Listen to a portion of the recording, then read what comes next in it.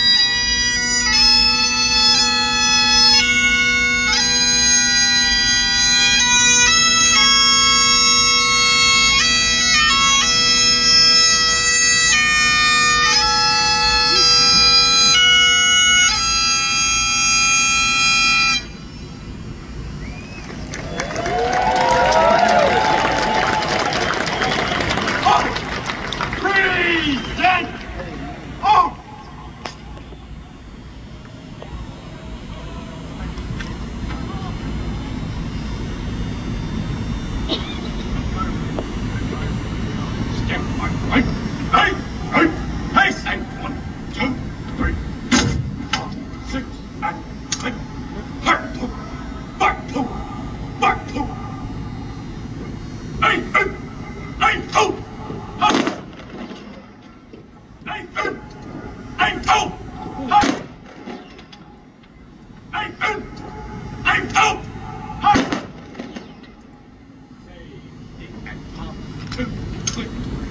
Allez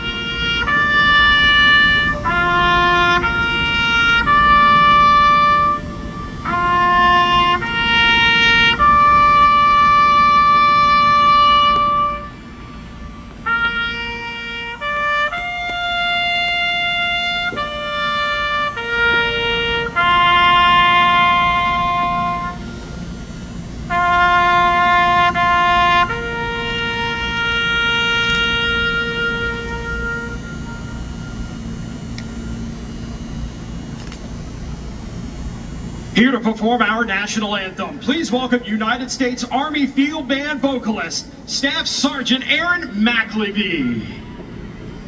Oh, say, can you see?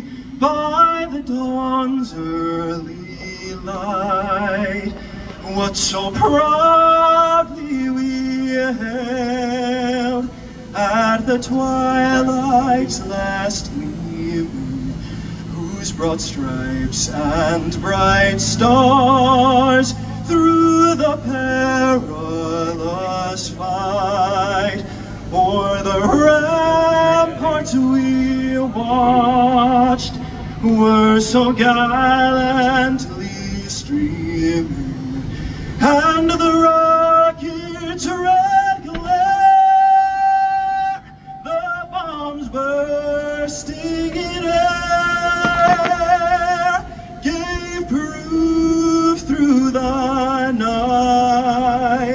that our flag was still there.